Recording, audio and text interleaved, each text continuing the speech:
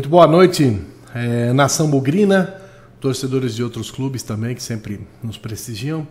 Boa noite, né? Para quem consegue ter uma boa noite depois de um jogo lamentável desse. Então, eu não vou escrever nem roteiro porque é, os jogadores que, que fizeram essa palhaçada não merecem o mínimo de consideração depois do que fizeram aí nas últimas cinco, seis rodadas, concluindo hoje com chave de ouro, né?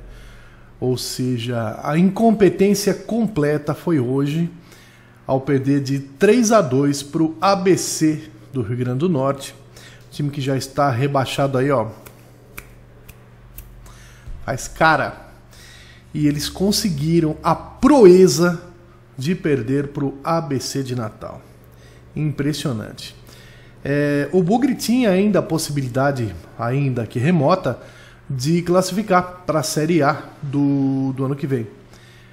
Para isso precisava vencer de meio a zero o ABC de Natal e depois levar para o último jogo lá contra o Atlético de, Goi de né? Atlético de Goiás, para torcer contra outros times na reta final, na última rodada. Mas o que aconteceu em Campinas? Com 40 segundos, o senhor Lucão já deu a primeira perebada, né? E o Guarani saiu perdendo de 1 a 0. Deixa que eu deixo, sabe, jogador que não assume a responsa de ir para cima, deixa para o outro. E aí 1 a 0 para a equipe do ABC de Natal, pasmem. Pasmem. ABC de Natal rebaixado, cara.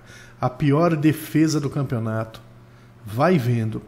E já vou avisando que no vídeo de hoje como ele é livre, né, não tem pauta, é, eu não vou passar pano para ninguém não, cara. Não vou passar pano nem para técnico, nem para jogador, porque o nosso torcedor, por incrível que pareça, com tudo que choveu em Campinas, o nosso torcedor tava lá. Tava lá de novo.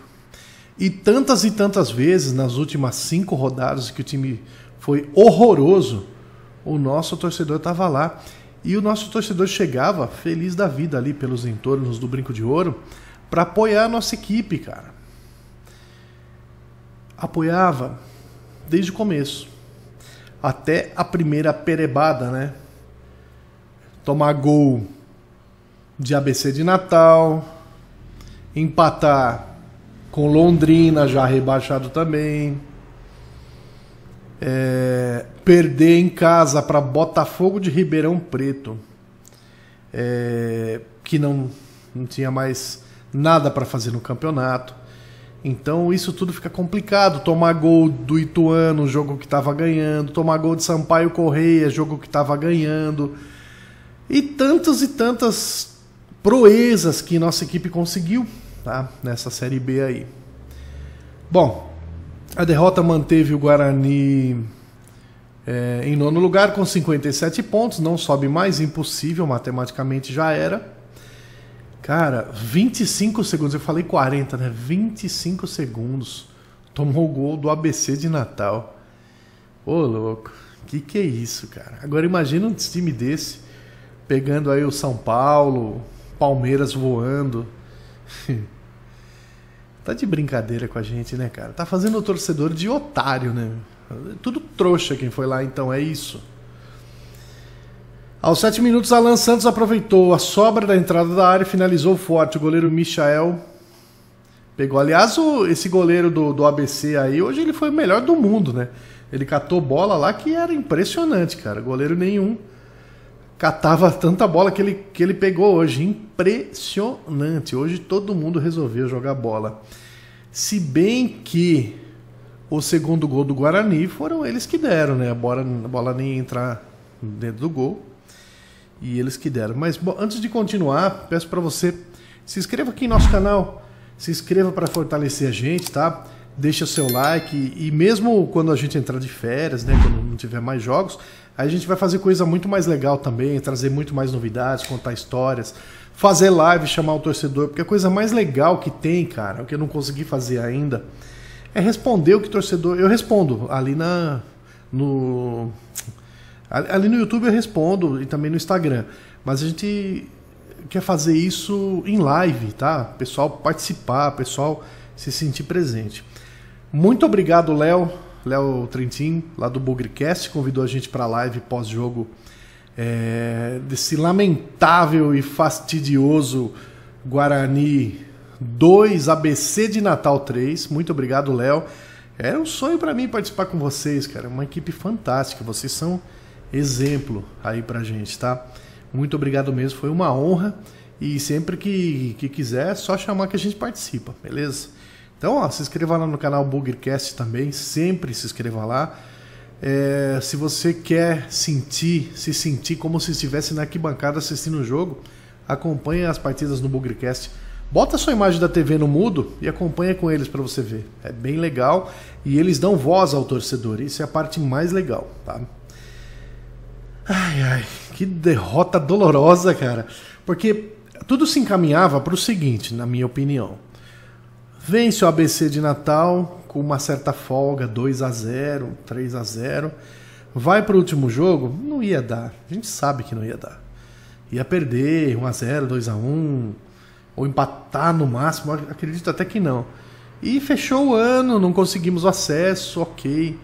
Mas, meu, a cereja do bolo foi perder em casa, em pleno brinco de ouro, pro ABC, último colocado. Cara, é inadmissível. Velho. E depois vem com aquela conversa é, lá no na coletiva, vem o, falar aquelas mesmas desculpas.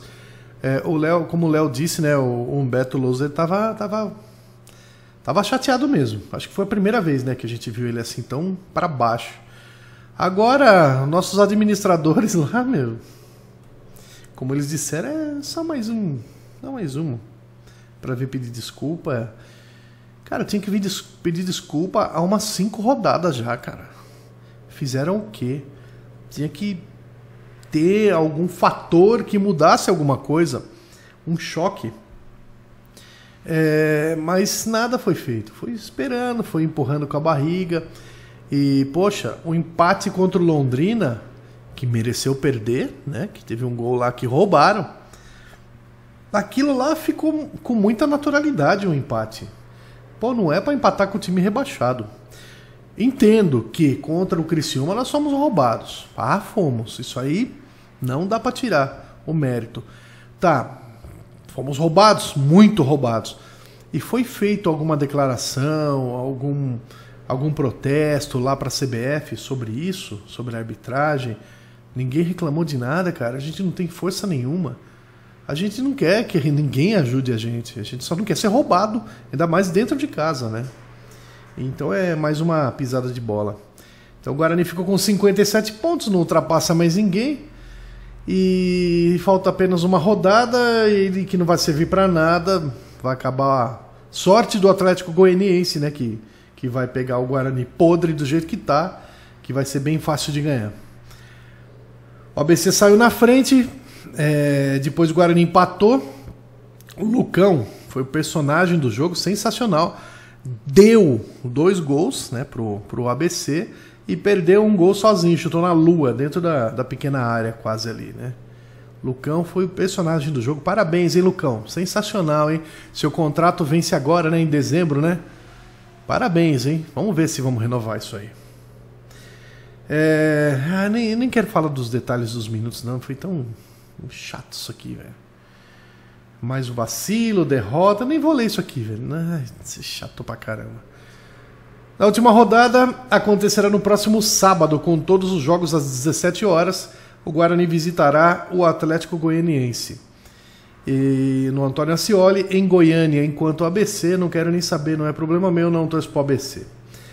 Guarani 2, ABC de Natal, rebaixado, podre, inútil 3. Olha que situação pela 37 rodada, a penúltima do Campeonato Série B. Olha que melancólico que a gente acabou, cara. A gente acabou de cinco rodadas passadas ou seis rodadas passadas, faltando só nove pontos para subir, a gente passou a perder para o ABC de Natal, que já está rebaixado há umas 4, 5 rodadas. Em casa, cara. Olha, que roteiro, hein? Quem escreveu esse roteiro? Foi hoje, né? 19 de novembro de 2023, 37 rodada, às 15h45, começou o jogo. O árbitro foi Felipe Fernandes de Lima, de Minas Gerais. Os assistentes Leonardo Henrique Pereira e Augusto Magno de Ramos, de Minas Gerais. Eu não vou querer botar essa culpa em arbitragem, por exemplo, o lance que foi feito a falta é, no ataque do Derek e que um lance muito parecido, cara, o Lucão foi expulso em outro jogo. E dessa vez contra é, a favor do Guarani, esqueça, né? Esqueça. Se for usar o mesmo critério, era para ter expulsado ali o, o jogador do ABC. Mas, gente, talvez tenha sido até melhor não, para não jogar nas costas de arbitragem isso aí. O time que foi pífio, ridículo, podre, desorganizado. É inacreditável. Então, árbitro, os assistentes do, do árbitro Felipe foram Leonardo Henrique Pereira e Augusto Magno de Ramos, de Minas Gerais. E no VAR ficou o Felipe Jorge Bennett, do Rio de Janeiro. A arbitragem não teve essa influência, não. Cartões amarelos para Matheus Bueno e Derek, né? não joga para cima a partida. E os gols do, do Guarani, Iago Teles aos 32 do primeiro tempo ou seja, tomou o gol aos 20 segundos, 14 segundos do primeiro tempo, só foi empatar aos 32. Vai vendo. E Alex Silva contra, fez o gol ali para o Guarani. Público total 3.089 numa chuva em Campinas, cara. Eu não, eu não fui até lá. É, dessa vez uma chuva imensa. Acho que uns 40 minutos antes de começar a partida.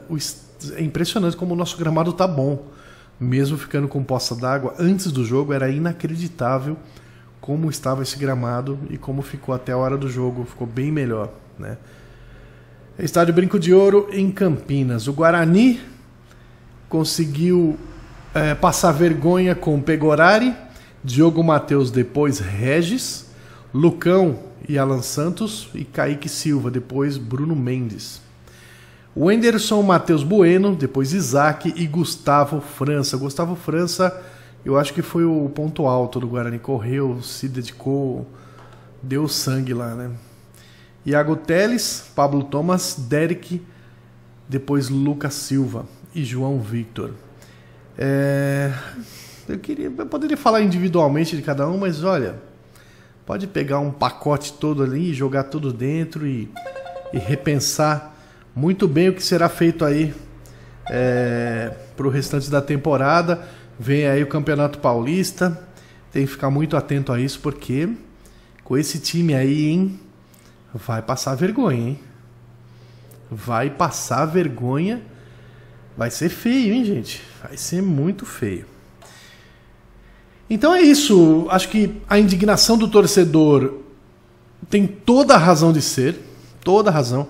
Inclusive, a gente estava até com medo, a gente conversou aqui é, em off depois, a gente estava até com medo que o torcedor fizesse alguma coisa errada, né? Tipo quebra-quebra, essas coisas, mas graças a Deus o torcedor do Guarani é bem consciente nesse ponto, foi de boas, pelo menos, pelo menos até, até o momento a gente não tem nenhuma notícia disso daí não. E, e tem mais é que protestar, xingar a rede social, falar, para ver se alguma coisa muda, né?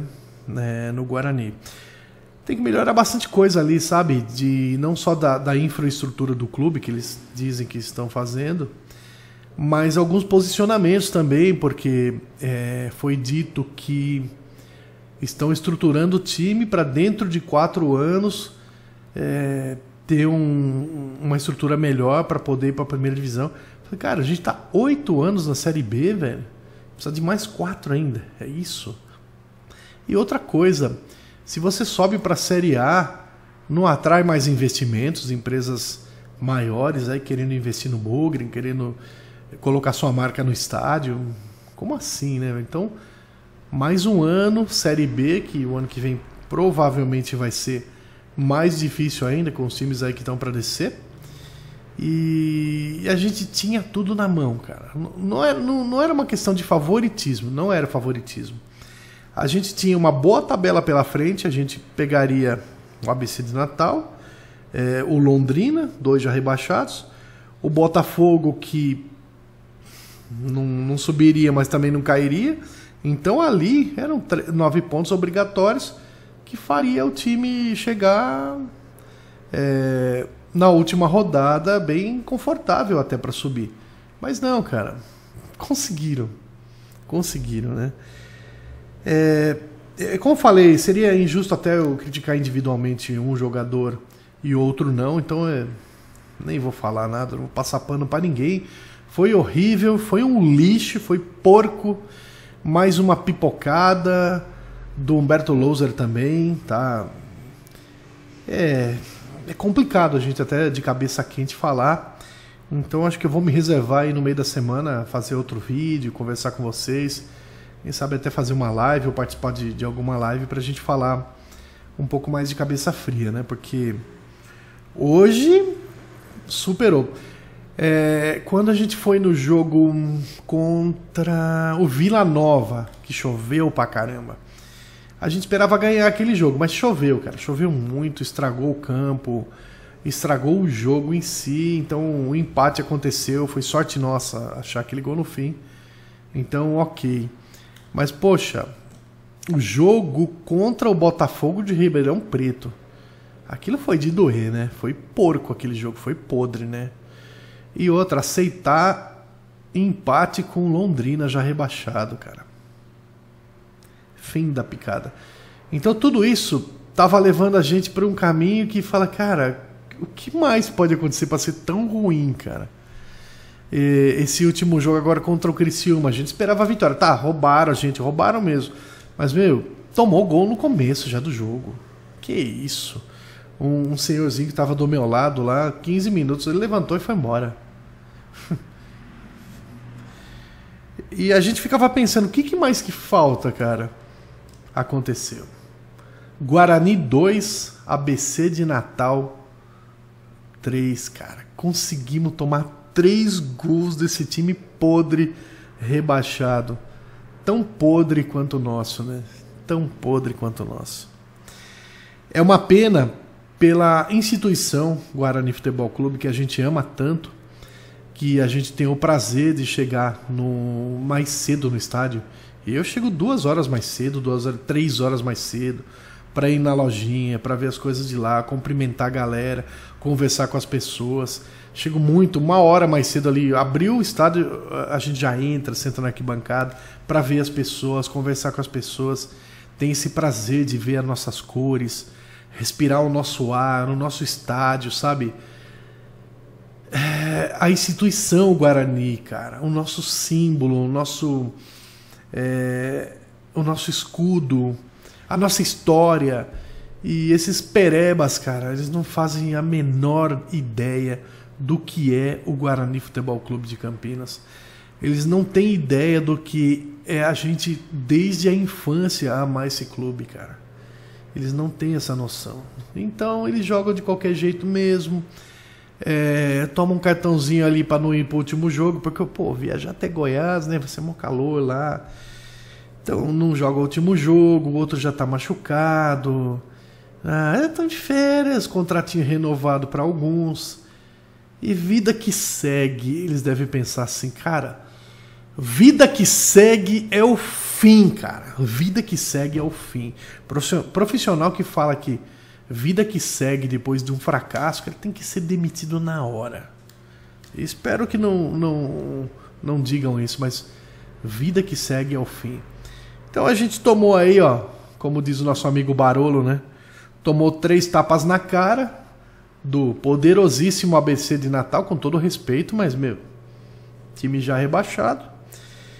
E agora aguenta, né, gente? Aguenta, aguenta. Vamos mudar as coisas, minha gente. Não vamos ficar quieto, não. Vamos cobrar. Ah, vou pedir pro pessoal dos outros canais também, né? É, que cobrem, cobrem, cobrem muito, cara. Porque não dá. Não dá para ficar assim. O Guarani não é time de Série B, não, cara. O Guarani tem uma história. O Guarani tem um legado. Vamos mudar isso daí. E é isso. Infelizmente, o vídeo de hoje é, acho que é o pior momento do campeonato. É o fundo do poço você perder do time que já está rebaixado, cara. que era obrigação de você ganhar em casa. Não tem desculpa. Não tem que passar pano para ninguém. O Louser pediu desculpa, o, o, rapaz lá do administrativo pediu desculpa, meu, meu agora? Pedisse desculpa uns cinco jogos antes fala assim, não, nós vamos dar um chacoalhão nessa equipe aí, não pode ficar assim. Não, agora, agora é tarde, agora já era, velho. Agora Inês é morta. E é isso, galera. É, nunca se esqueçam que quem nasceu associação jamais será futebol clube. Hoje e sempre Guarani. Tamo juntos sempre, vamos continuar brigando, vamos continuar lutando. Avante meu bugre. Falou galera, muito obrigado por tudo. Fui.